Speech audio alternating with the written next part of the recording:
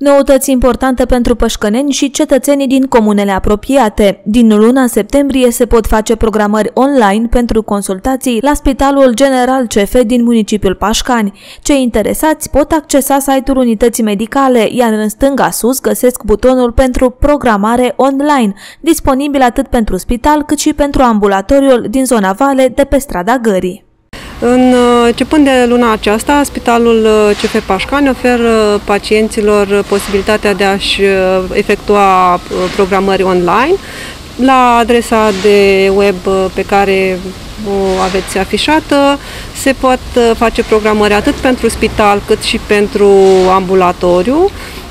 În momentul în care pacienții își, își fac o programare la spital, la secțiile spitalului sau în ambulatoriu, la unul dintre cabinete, vor fi contactați de către personalul nostru pentru a confirma adresa de mail și de pentru a confirma faptul că s-a făcut această programare urmând uh, să li se comunice și documentele necesare um, pentru a veni la programare. La spital, pacienții pot obține o programare pentru următoarele secții, medicină internă, chirurgie generală, recuperare sau reabilitare, radiologie, laborator analize medicale și explorări funcționale.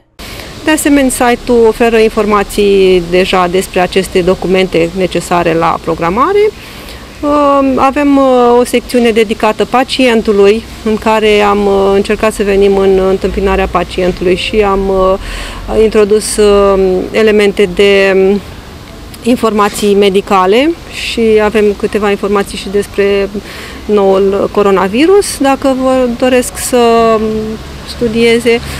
De asemenea, avem informații legate de alți furnizori de servicii medicale de la nivelul județului, în cazul în care serviciile oferite de spitalul nostru nu sunt cele pe care și le doresc uh, pacienții. La ambulatoriul din zona Vale se pot programa pentru o consultație la medicină internă, chirurgie generală, orele, oftalmologie, neurologie, psihiatrie, siguranța transporturilor sau fișa medicală pentru examen auto. Rămân disponibile și programările prin telefon la datele de contact de pe site-ul unității medicale, precum și pe ziarul bittv.info.